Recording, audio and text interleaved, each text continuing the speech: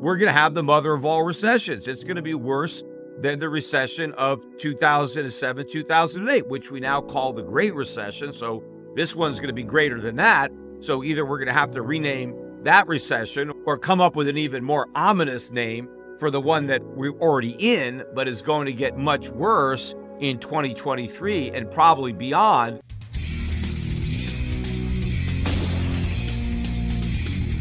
In today's video, Peter Schiff, founder, CEO and global strategist of Euro-Pacific Capital, gives a warning that the 2008 crisis was just the prelude to a larger sovereign debt crisis in the United States that may lead to a collapse of the US dollar.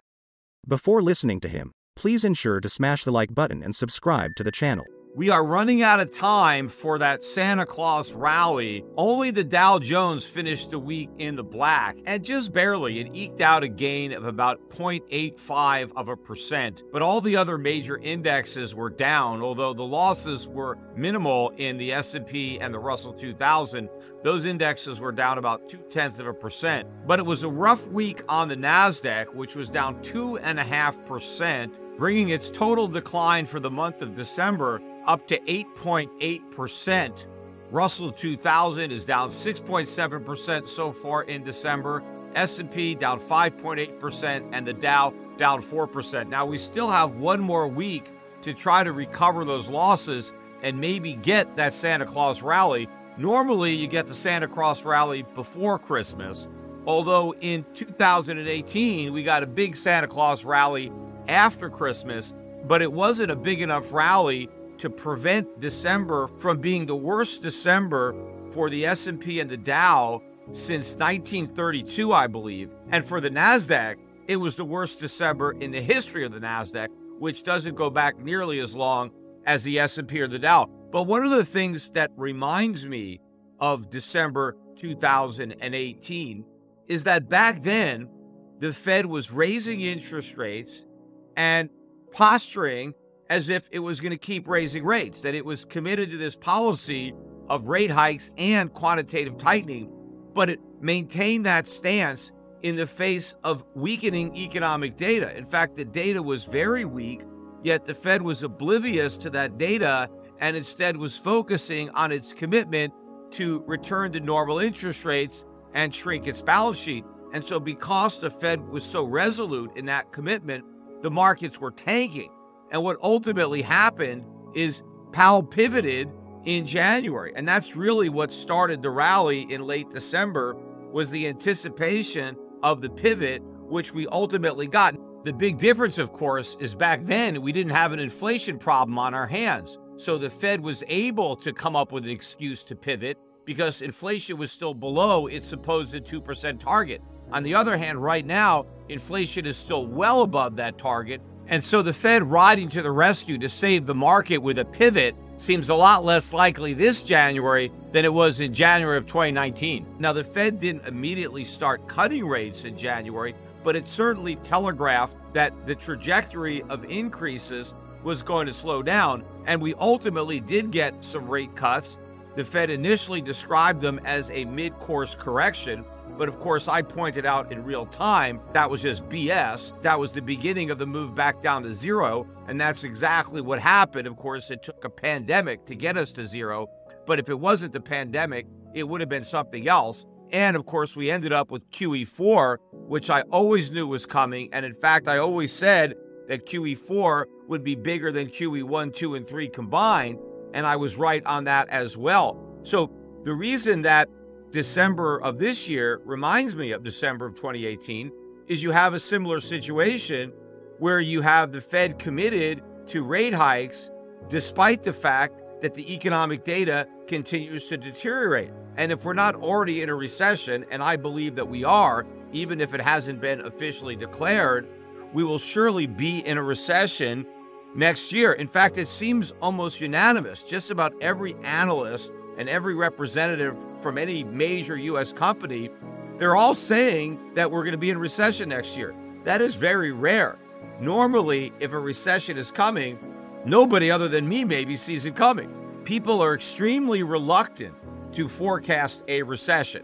But now it seems like everybody has a recession in their forecast. Now, the contrarian in me might say, wait a minute, if everybody expects a recession, maybe we're not going to get one.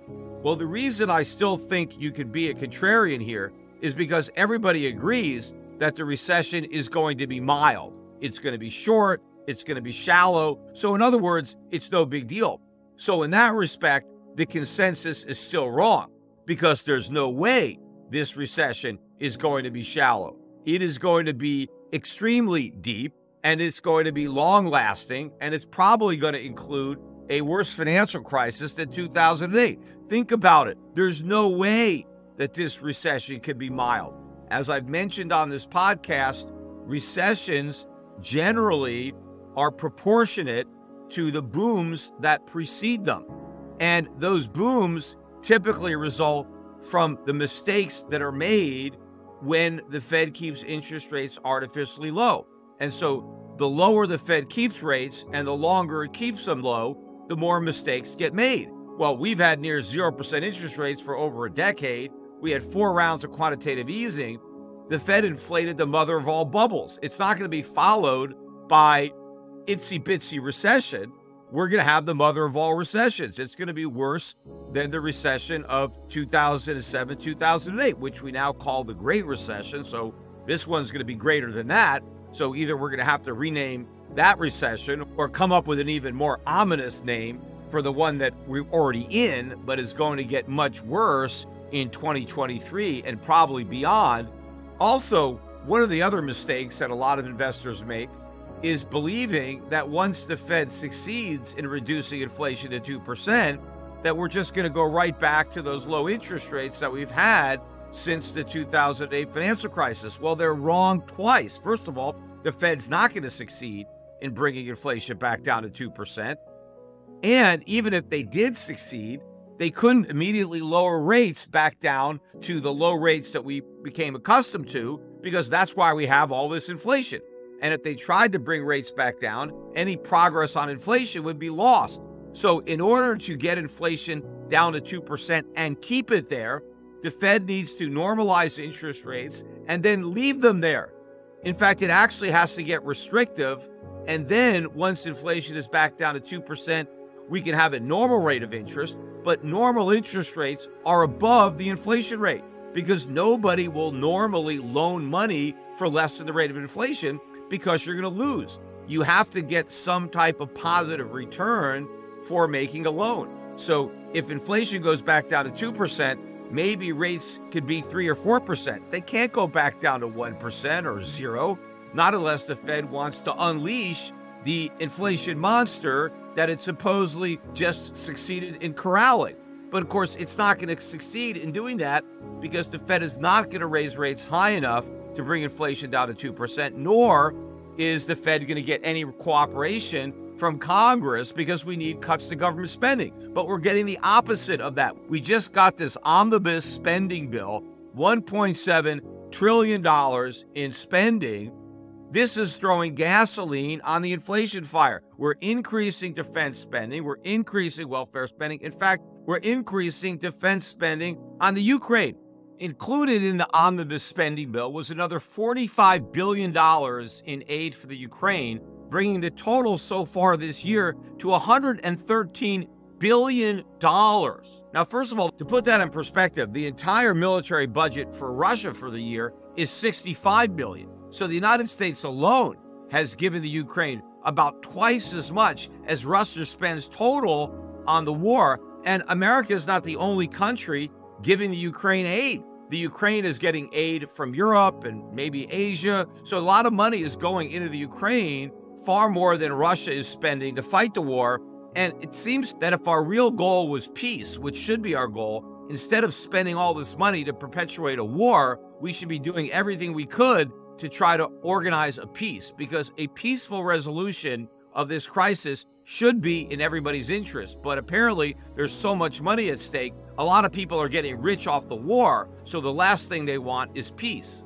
Another way, though, to look at the absurdity of the amount of money that we are spending on this war, the 113 billion in aid thus far in 2022 amounts to about $2,500 per Ukrainian. I'm talking about all the little kids, too. So for a family of four, that would equate to $10,000. Now, $10,000 is about twice the average household income in the Ukraine. That's how much this aid is. So, to put that into perspective, for an equivalent amount of money in the United States, that would be $140,000 per family. Can you imagine the United States receiving aid in the amount of $140,000 per household? This is an absurd amount of money, and it's going to continue. There's no reason to believe that we're not going to do the same thing in 2023. In fact, it may even be bigger. The other question, of course, is where's all the money coming from? We don't have this money.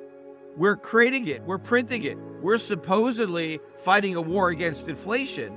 But rather than trying to win the war against inflation, the U.S. is more concerned about perpetuating the war in the Ukraine. And the result is both the war in the Ukraine and inflation in the U.S. not only continue, but they'll probably get worse. But the bottom line here is that there is no interest in Congress to do anything to reduce government spending. We continue to increase government spending as if we don't even have an inflation problem. All these politicians are spending all this time talking about how bad the inflation problem is, yet not only do they do nothing to try to solve the problem, but everything they're doing is compounding the problem. They want to just point to the Fed and say, it's your responsibility. It takes two to tango. The Fed is not going to be able to get rid of inflation unless the government stops running massive budget deficits that the Fed ultimately has to monetize. All of this government spending has to be paid for. You know, Elon Musk ran this poll on Twitter, obviously not a scientific poll, but the vast majority of the 3 million or so people, obviously some of them aren't even Americans, who responded to the poll said they oppose this omnibus spending bill. Well, just about everybody would oppose this omnibus spending bill if they realized that they were going to have to pick up the tab through higher inflation, because that's where the money is coming from. The government is not raising taxes on anybody to cover all this spending. Well, that doesn't mean we get all the spending for free. We have to pay for it another way, and we're paying for it through inflation. And since inflation is the most regressive of all taxes because it falls the heaviest on those that can least afford to pay it, the working poor, the middle class. That is the new tax system we have in America because we can't get any taxes on the rich. Nobody is willing to even support those. And even if we could raise taxes on the rich, we really wouldn't generate much revenue from the rich. They're already paying a lot of taxes, and you run the risk of making them less productive and ultimately undermining the economy and the tax base. So we have to raise taxes on the middle class because that's where the money is, but nobody will raise taxes on the middle class. And since nobody will cut spending, well, then the only choice is inflation. Inflation is the only politically palatable way that government can pay for all this spending. They have no way not to spend. They have no way to raise taxes to cover the cost. So they use inflation to cover the cost, and then they blame other people for inflation, whether it's Putin, whether it's corporate greed, whether it's the pandemic. They'll never run out of excuses to blame inflation on, and they will never accept responsibility for having created the inflation themselves.